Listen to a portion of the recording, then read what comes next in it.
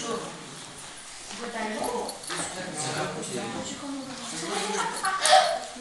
так понимаю, это... Сюда не пишу классную работу. Ты чего? Вот, да, ты вообще не порубаешь.